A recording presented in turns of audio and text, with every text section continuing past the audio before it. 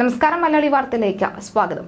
കഴിഞ്ഞ ദിവസമാണ് വിഴിഞ്ഞം അന്താരാഷ്ട്ര തുറമുഖത്തിലെത്തിയ ആദ്യ കപ്പൽ എത്തിയത്. ഈ ആദ്യ കപ്പൽ എവിടെ നിന്നാണ് എത്തിയത് എന്ന് എല്ലാവർക്കും വ്യക്തമായി അറിയാം. അത് ചൈനയിൽ നിന്നുമാണ്. എന്നാൽ ഈ കപ്പലിൽ വന്ന ചൈനക്കാർക്ക് ആർക്കും തന്നെ ഇതുവരെയും കേരളത്തിൽ ഇറങ്ങാൻ കഴിഞ്ഞിട്ടില്ല. അല്ലെങ്കിൽ ഇന്ത്യയുടെ മണ്ണിൽ കാലുകുത്താൻ കേന്ദ്രം അനുവദിച്ചിട്ടില്ല എന്ന് തന്നെയാണ് ഏറ്റവും ഒടുവിൽ വരുന്ന റിപ്പോർട്ട് ഇവരെ കരയിൽ ഇറക്കാനായി മുഖ്യമന്ത്രി പിണറായി വിജയൻ നന്നായി ശ്രമിക്കുന്നുണ്ട് എന്ന റിപ്പോർട്ടുകളും വരുന്നുണ്ട്. കപ്പലിലെ ജീവനക്കാർക്ക് കരയിൽ ഇറങ്ങാൻ കഴിയില്ല. ചൈനീസ് പൗരന്മാർക്ക് കേന്ദ്ര സർക്കാർ വിസ അനുവദിക്കാത്തതാണ് ഇതിൽ പ്രധാന കാരണം. ഷെൻഹുവ പതിനഞ്ചിലെ ജീവനക്കാരാണ് വിസ കിട്ടാത്തത്. ചൈനീസ് പൗരന്മാരാണിവർ. ഷാങ്ഹായ് പി എം സിയുടെ ജീവനക്കാരായ ചൈനീസ് പൗരന്മാർക്കാണ് വിസ നൽകാത്തത്. ക്രെയിൻ ഇറക്കാൻ ഇവരെ അനുവദിക്കണം എന്നാവശ്യപ്പെട്ട് സംസ്ഥാന സർക്കാർ കേന്ദ്ര സർക്കാരിനെ സമീപിച്ചിരുന്നു.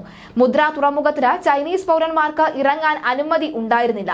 എന്നാൽ ക്രെയിൻ ഇറക്കാൻ തുറമുഖത്ത് തന്നെ വിദഗ്ധർ ഉണ്ടായിരുന്നതിനാൽ ഈ കാര്യങ്ങൾക്ക് തടസ്സമുണ്ടായില്ല.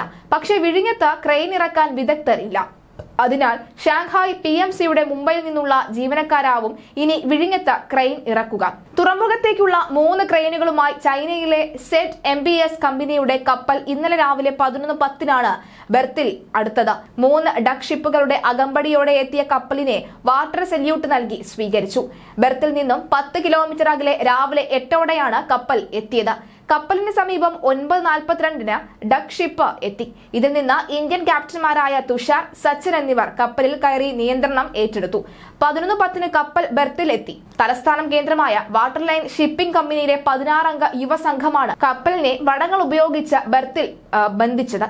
കപ്പലിന്റെ ക്യാപ്റ്റൻ ചൈനയിൽ നിന്നുള്ള സാവോ ഹുയെ വിസിലാണ്. അതുപോലെ തന്നെ ക്യാപ്റ്റനെയും സംഘത്തെയും മൊമന്റോ നൽകി സ്വീകരിക്കുകയും ചെയ്തു. കേരളത്തിന്റെ വികസനത്തിൽ സുപ്രധാന നാഴികക്കല്ലാകുന്ന വിഴിഞ്ഞം അന്താരാഷ്ട്ര തുറമുഖത്തിലെത്തിയ ആദ്യ കപ്പലിന് ഞായറാഴ്ച ഔപചാരിക സ്വീകരണം ഒരുക്കുകയാണ്. ഗുജറാത്തിലെ മുദ്ര തുറമുഖത്തിന് പുറപ്പെട്ട കപ്പൽ കഴിഞ്ഞ ദിവസം വിഴിഞ്ഞം പുറംകടലിൽ നങ്കൂരമിട്ടു. തുറമുഖത്തേക്കുള്ള മൂന്ന് ക്രെയിനുകളുമായാണ് കപ്പൽ എത്തിയിരിക്കുന്നത്. ഞായറാഴ്ച വൈകിട്ട് നാലിന് കപ്പലിനെ ഔപചാരികമായി സ്വീകരിക്കുമെന്ന് കേന്ദ്രമന്ത്രി സർബാനന്ദ സോനേവാൾ മുഖ്യമന്ത്രി പിണറായി വിജയൻ എന്നിവർ ഉൾപ്പെടെ പ്രമുഖർ എത്തുകയും ചെയ്തു. ഒട്ടേറെ പ്രത്യേകതകളുള്ളതും ദീർഘകാല സ്വപ്നവുമായിരുന്നു വിഴിഞ്ഞം. തുറമുഖം. രണ്ടായിരത്തി പതിനഞ്ച് ഡിസംബറിൽ നിർമ്മാണം ആരംഭിച്ച് ഈ വർഷം മാർച്ചിൽ പൂർത്തിയാക്കുക എന്നതായിരുന്നു ലക്ഷ്യം.